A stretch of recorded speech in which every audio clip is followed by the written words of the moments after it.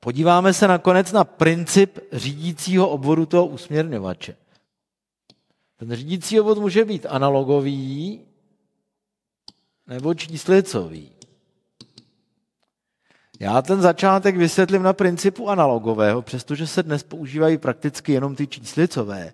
Ale zase tam jde nejdříve o tu úvahu, že ten, kdo navrhuje ten číslicový obvod, tak v podstatě musí vědět, co vlastně má udělat. Nejdříve blokově. Takže začneme analogový. Co vlastně musíme udělat? No nejdříve musíme najít průchod sinusovky nulou. Takže detektor průchodu nulou.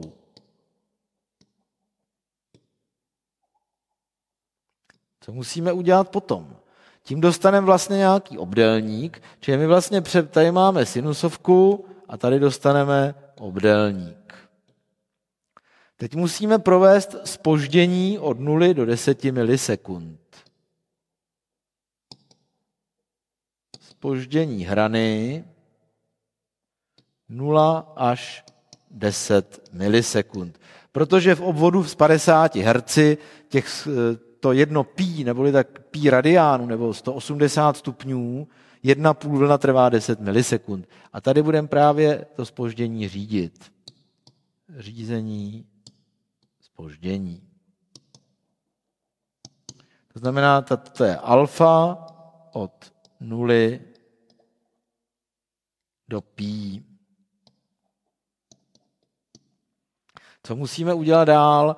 Musíme ten impuls zkrátit na krátký impuls a zesílit ho proudově tak, aby to odpovídalo tyristoru. Takže tady bude následovat nějaké tvarování, tedy zkrácení a dimenzování impulzu. No a tady už prostě vyleze ten impuls pro ten tyristor, který pošlem do tyristoru. Či tohle je ten řídící obvod. Jak by se to udělat v reálu? Pořád se bavíme o tom analogovém. Tak, první krok. Detekce průchodu nulou. My s ní máme napětí ze zásuvky například a potřebujeme si z něj udělat něco slaboproudého, takže sem dáme nějaký transformátor, tohle bude 230 V, 50 Hz, nějaký transformátor třeba z 230 na 6, to je jedno, něco podobného. A dál budu malovat v té slavoproudé elektronice už jenom tuhle tu zem. Takže tady si dáme komparátor, který nám v podstatě vydetekuje průchod nulou. Pokud je tohle průběh 1, průběh 2, tadyhle budu malovat průběhy. Průběh 1 je sinusovka a komparátor v podstatě, jakmile se to objeví do plusu, tak tam udělá limitaci a na konci udělá zápornou limitaci. Takže třeba takhle.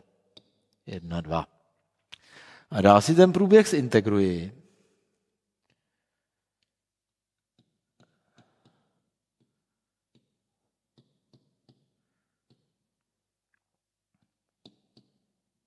Tedy integrační zesilovač. A tady bude průběh 3. Průběh 3 vypadá tak, že integrál skladné konstanty je kladná lineární funkce, protože integrátor invertuje, tak to bude záporná lineární funkce. Takže poběží takhle dolů. A ze záporné funkce je to kladná lineární funkce. Uděláme to takovéto trojuhelníky. Ono v reálu bohužel díky integrační konstantě C ty trojuhelníky budou symetrické nad osou a pod osou, takže tohle je jenom ryze teoretická konstrukce, já ve skutečnosti to musím doladit. A to tak, že tímhle odporem, tedy integrační konstantou, určuji velikost těch trojuhelníků, protože já budu tohle napětí docela nutně potřebovat znát, to bude nějaké napětí třeba u x, a to nastavím velikostí tohohle odporu, tedy špičku toho trojuhelníka, jeho amplitudu. Ale posuv, aby vršky toho trojuhelníka byly právě na ose a e, spodní vrcholy toho trojuhelníka právě na hodnotě UX, posouvám nějakým děličem, který bych ve skutečnosti tadyhle měl nějaký trimmer a tadyhle bych měl plus a minus a nějak bych přesně doladil tohleto napětí, ale já tady vrátím pro jednoduchost tu zem.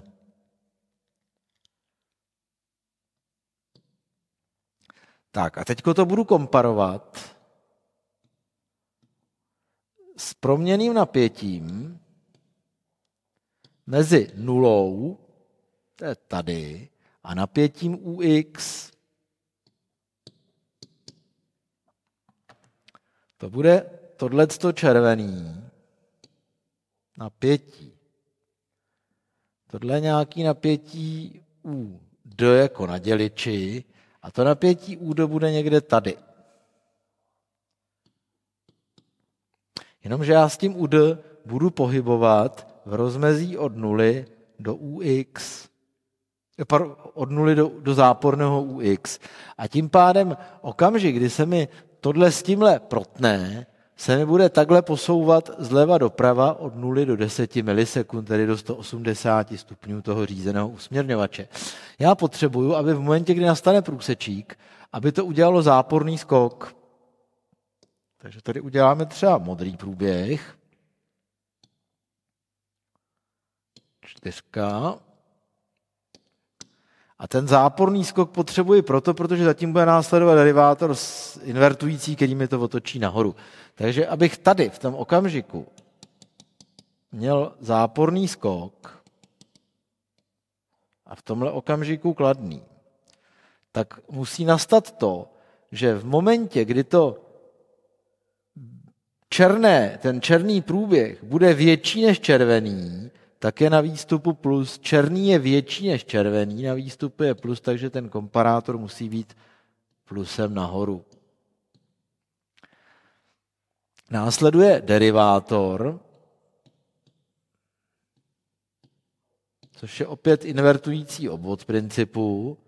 No a derivátor dělá to, že zkracuje impulzy, že v podstatě nám pustí dál jenom hranu.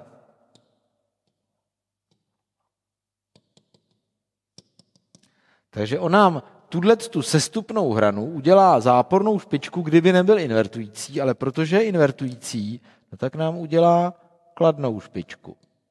A tady nám udělá zápornou špičku. Jenomže ta záporná špička se nám tam nelíbí.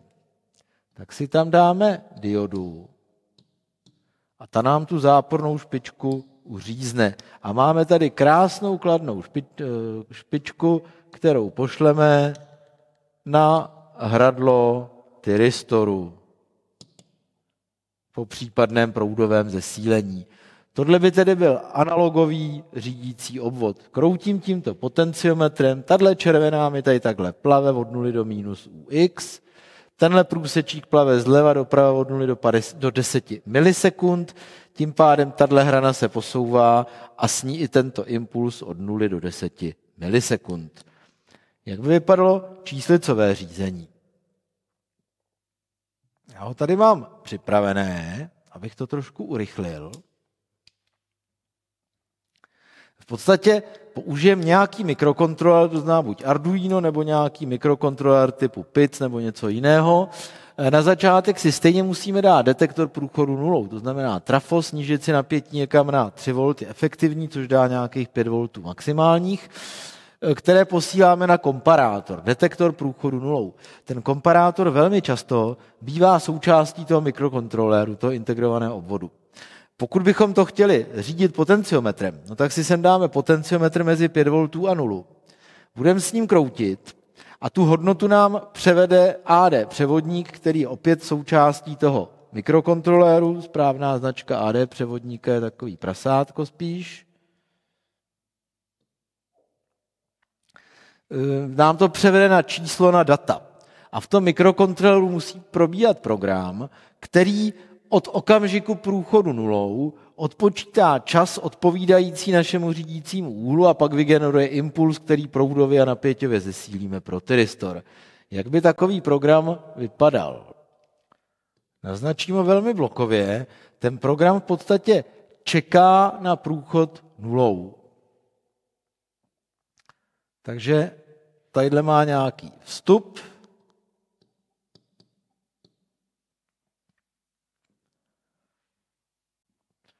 a on detekuje nějaký vstup. No a dokud vstup nepřichází, tak tohle to pořád běží ve smyčce. Jakmile přijde vstup, tak ono si to přečte tyhle ty data. A běží tady nějaký časovač. Takže řekněme odpočet hodnoty z ADC. Zase bys to namalovat nějakou smyčkou, ale já to udělám úplně blokově. To znamená, ono to odpočítává. Když budu mít nastaven nulový řídící úhel, tak tady bude nula a on nic nevodečte a bude rovnou pokračovat dál. Pokud hm, tady bude nějaké číslo, řekněme, že by to bylo celý tak krásně skalibrovaný, což v reálu samozřejmě nebude, že ten AD převodník by těch plus 5 voltů eh, překládal jako eh, třeba 10 milisekund, řekněme, že by pracoval po 100 dílech, to znamená, by tam byl 5 eh, voltů by bylo 100 a 0 voltů by byla 0. A ta jednotka v tom řádu té stovky, jednotka by byla jedna desetina milisekundy. To znamená, že by tady bylo 5 voltů, tak by ten ADC vyhodil 10 a čekalo by to 10 milisekund. Když by ten AD převodník vyhodil 1 volt, tak to je pětina z deseti a byla by tam prostě nějaký 2 milisekundy a tak dál. Takže odpočet hodnoty z AD převodníku odpočívá to, odpočítává to z téhle hodnoty nějakým odčítacím čítačem do nuly. A jakmile to odčítá do nuly, tak to vydá impuls, takže impuls na výstup. No a celá smyčka se vrací do kolečka. A takhle to běží pořád. Takže takhle jednoduše by to šlo udělat číslicovým způsobem. Tohle tedy byl řídící obvod řízeného usměrňovače. Děkuji za pozornost.